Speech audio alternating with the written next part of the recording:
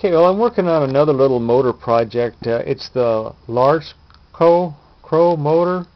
Um, I'll leave a link to the uh, videos uh, from the gentleman and then a link to the discussion at the Over Unity Forum um, .com where the uh, motor is being discussed. But this is not his motor, but it was something I wanted to try with what I had to see if I could see any of the effects that he's showing where he disconnects the battery the motor's running on the stored energy in a capacitor.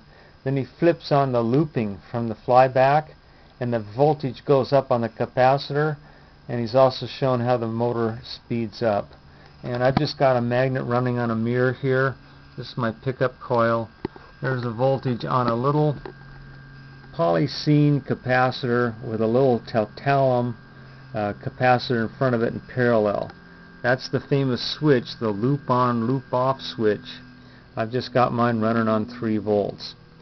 Okay, here we go. What I'm going to do is show the, the battery voltage when I take, I'm sorry, I'm going to show the capacitor voltage on that little capacitor right there. When I take the battery off, this is going to drop like a rock.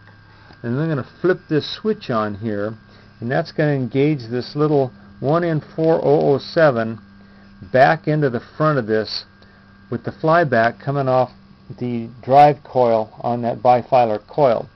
So here we go, watch this. This won't mean much to the people except the ones that are working on this project. Okay, here goes battery off. There goes the voltage dropping like a rock.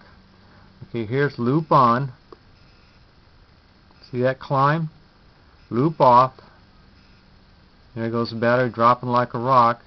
Loop on goes back up, loop off, loop on, and it stops. It doesn't keep climbing. See how that starts dropping off again?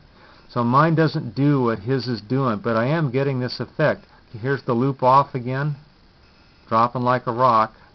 Here's the loop on. Now I don't know if this is a meter reading thing that I'm seeing or what is going on here. But when I flip this little switch back and forth with this drive battery disconnected and all I have is this little tiny polycene capacitor and that little talum, tantalum capacitor which is about a 10 microfarad I'm getting this effect. Here it is with the loop on. There's loop off. Look at how that drops, how fast that drops off. Loop on. See how that climbs back up again? Loop off. So anyway, this is just something for the guys working on that project to take a look at and scratch their heads and go, what are we seeing here? And I really don't know. I've ordered the little uh, water faucet LED light to get the motor out of that. And I'll probably have to find that special little capacitor. But very interesting project. Thanks for watching.